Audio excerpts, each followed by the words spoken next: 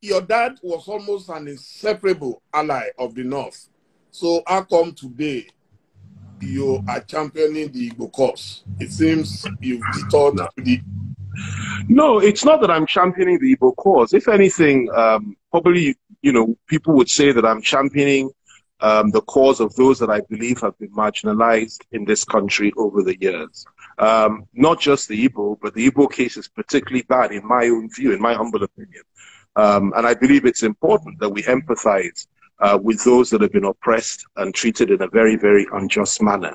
Um, that's the first thing, especially if you believe you're the stronger one. In other words, you've been privileged as a people or as, a, as an ethnic nationality or pride, um, tribe, and others are suffering. I think you should we should be able to empathize. So I've empathized with the Igbos and what they've what they've been through over the years. But I've also spoken up for, for, for Southerners in this country, probably more than anybody else when it, when it comes to the national level. And I've also spoken up for people of my faith, the Christian faith, who I believe have suffered immeasurably uh, over the last few years in this country. Um, I've also spoken up for the northern minorities, uh, the Christians of the north and the Muslim minority tribes in the north. And today I'm also speaking up as uh, Sadauki Shinkafi for the oppressed people of the core north itself. So what I found is that over a period of time, my trajectory has been that I, have I've got deep with certain groups, spoken up for them, and this thing has spread and spread and spread more now. So now I've got to a point that it really doesn't matter to me where you're from, what your faith is. If you're being killed or if you're being massacred, for example, you're a Shia Muslim, or even if you're somebody that lives in Zamfara State, one of the 300 to 500 people that are being killed a day um, uh, whilst Governor Yari was in power, um, I'll speak up for you and I'll stand for you. And I believe that's what leadership is all about. You have to empathize with those under, with those that have been oppressed. I identify with the struggles of the people of the Southwest. I'm from there. Um, and I identify with those struggles and the agitation for a fairer deal, the agitation for restructuring, and the agitation for, for fairness and equity at the highest level of governance.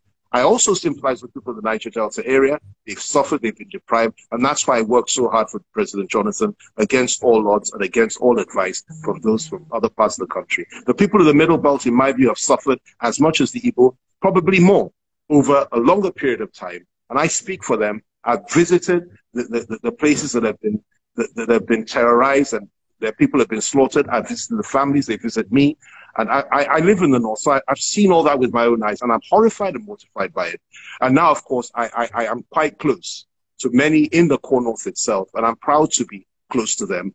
And I, I, believe that it's important that those that are suffering, there also need representation. So this is my trajectory, and this is my belief. And um, but let me also say this, my brother, very quickly. I believe in the right of self-determination. And I believe the only way you can stop people from saying, for example, they want to leave the Federation, if you don't want them to leave, is to treat them with love and with equity and with decency. Certainly not by killing them, massacring them, and hurting them and insulting them. And that's why I believe the case of the Igbo particularly is one that needs to be addressed. And the case of the people of Middle Belt, um, they have suffered immeasurably, both groups, and we need to do a lot more for them uh, as a people. And we need to speak for them, stand for them, and fight for them. And I say so, all this is the Yoruba man. So yeah. You, yeah you're, you're your Biafra. I want what, yeah. your what, what, opinion. Biafra. On on Biafra. Biafra. Yes, please. Let me let me let me let me let me let me tell you my my honest view.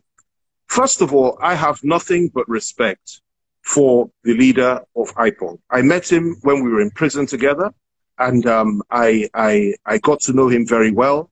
And uh, I don't agree with everything he says, particularly when he speaks about the people of the Southwest and perhaps other tribes in the way that he used to speak about them. Um, but I have immense respect to him because he has courage, and that is a virtue in my in, in, in my language.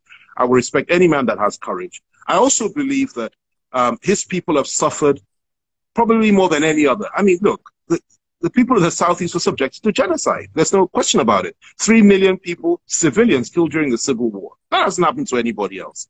And I don't want to go too much into all that because it's very upsetting and gets me very emotional. But I believe strongly that we as a people and as a nation owe the people of the Southeast an apology for what we did to them or to their civilian population during the Civil War. That is very important in my view, if you want national reconciliation. I also believe that you need to be able to understand and accept that those that have been hurt in the past have a reason and have a right to express their pain when they're faced with injury and hardship and persecution. And that's what the IPOB people are doing. Now, I do not believe that they are terrorists. This government has labeled them as terrorists. So if I did, I would have nothing to do with them. I'm not a member of IPOB, but I believe that they have the right to self-determine. Now, when it comes to the issue of Biafra, I said it earlier, oh, or Dudua, or oh, Dudua Republic, or anything else. It's no good saying, well, I'm against Biafra, because it's not for you to determine what will happen to other people. It's for them to determine what they want to do.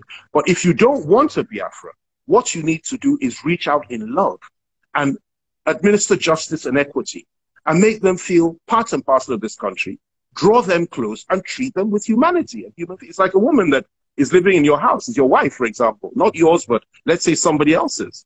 And keep saying, I'm leaving, I'm leaving, I'm packing, I'm packing. Sometimes they even pack their things and go for a while. But deep down, you know that the only way to stop her from going is not to continuously beat her and could you treat her like, like, like, like, like she's nothing, but you have to reach out in love, forgive her, and draw her close. And that's what a strong man would do. And that, a strong nation ought to be able to take care of those that have been marginalized and treated like animals over the years. That is why this agitation is strong, because successive federal governments, and not just this one, I might add, other ones that came before it, have refused to acknowledge what these people of the Southeast have suffered in the past. They, everything was taken from them after the Civil War. Yet they managed to rise up again. It's not just them. I say again, the Middle Belters suffered as much in the hands of those that came and conquered them many, many years ago and established a system over them. They have also suffered. And uh, of course, we in the Southwest, only we know how much we have suffered over the years. When you look at what happened to Awolowo, you look at what happened to, to Abiola, you look at what happened to Obasanjo, uh, when he was sent to jail unjustly. You look at what happened to Bola. So many people. So we've all had a little bit of suffering, and we all need a little bit of love. We need to understand. We need empathy, and we need to empathize with one another. And I believe that any government that wants to keep Nigeria together and stop the agitation of Biafra, stop the agitation for Oduduwa Republic, and so on and so forth, first has to show empathy and sympathy for the oppressed, has to stop oppressing people, and finally, and most importantly, has to accept that restructuring this country evolving power from the center is the only way forward if you want to keep Nigeria together in, in, into the um, into the future. If you don't do that, then definitely, eventually, people will exercise that right, whether you like it or not. And I, I certainly hope it doesn't come to that because I'm a man of peace and I don't believe in violence. Uh, I don't believe in, in, in conflict. I believe in peace, persuasion, and building bridges. And that's what we need to do. Okay, let me give you a double barreled question. A wow. lot of people especially the young ones, are agitating for the Oduduwa Republic. Uh, mm. You are especially guest of the governor of for your state, who happens to be a PDP governor. Mm. Uh, he said I should one, say hello to you, by the way. I'm right here. I'm right here with him. He's not too far from me. He said I should say a big uh, hello to you. Yes. He's a wonderful, great guy. Thanks so much. Sorry, you were saying. So, yeah. So the Oduduwa Republic, the Biafra, and any such, mm. uh, well, let's say anticipated nations. Mm. Okay, do you think they are visible? Is it a visible? There's no. Do you think no. yeah. break away from Iraq today without fighting a war? Okay, first of all, they are feasible because, for example, the Southwest is would, would be, if Oduduwa Republic was formed, it would be larger than any other country, than any country in Western Europe, um, with the exception of possibly France. Certainly in terms of population, a larger population in the southwestern part of Nigeria than any country in Europe. That's number one. And in terms of landmass, it's a huge area. And that goes, it's more or less the same for a number of other uh, parts of, of Nigeria. Um, so it's certainly feasible. The question is, is it desirable? Um, I believe strongly that um, it is desirable if that's what the people want. It's not for me to judge anybody. And I think for years we've been we've been we've we've all been saying, well, this is settled. Mm-hmm. You cannot cross that line. It's settled law that Nigeria must be one. Well, those of us that have been saying that, or those that have said that, are living in cuckoo land, because change is the only thing that is inevitable. Now, I'm saying if you don't want that, and I I, as a first option, do not want that myself. I would much rather we fix Nigeria if it's fixable. Restructure it and fix it. If you can't restructure it, if you can't mm-hmm. fix it, if you insist on the philosophy that some must be slaves and some must be masters, or the philosophy that some are horse mm-hmm. riders and some are horses, if you if you insist on that philosophy, that some are masters and servants, definitely, or, or some are born to rule and others are born to serve, definitely, you are going to have a breakup of this country. That is given. And it may be a conflict which ends in a lot of violence and bloodshed. Nobody mm-hmm. wants that. So in order to avoid that, what you have to do, treat people as equals, be sensible in how you manage the affairs of others, show empathy to what people have been through, and try and fix the problem and devolve power from the center. That is the way forward. And um, so if, if you ask if they're feasible, they certainly are feasible. The Biafra is feasible. If you ask whether it can be done without a conflict, which is, I think, is what you now asked me, I think that it would be very difficult to achieve these objectives without a conflict. And that is precisely why I would rather we fix Nigeria. However, let me tell you this it doesn't matter what I think or what I feel. Those behind me in the younger generation in the Southwest, and you know, Bobby D, you know this as well as I do, they're not waiting for people like us to give the go ahead. They are telling people like us that you are living in the past, that you believe in this entity. We don't believe. And we're constantly trying to tell them that things can change if we have restructuring and if we change things and we get the right leadership in the country and you devolve power. We can change it, we can fix it. Same in the Southeast, same in other parts. The younger generation are fed up with leaders like us that have consistently said there must be peace. They are saying peace at what price? That they're not prepared to be slaves. They're not prepared to continue in this mess. And we have to listen to that. And we have to try to fix the problem mm-hmm. before they decide to do something terrible, which is just to begin to take their, their destiny in their own hands and, and begin an armed struggle. And God forbid that should ever happen in our country. We don't want that. We never we pray that never happens, and by God's grace it will not happen. So what is happening to Amotekun because there was so much unfair at the beginning and suddenly it fizzled out. Now I think the last time I heard anything was Arakunrin Akeredolu wearing their uniform and all that, so red, red, red, red. So I'm well, let me, yeah, yeah. Let me, let, let me, yes.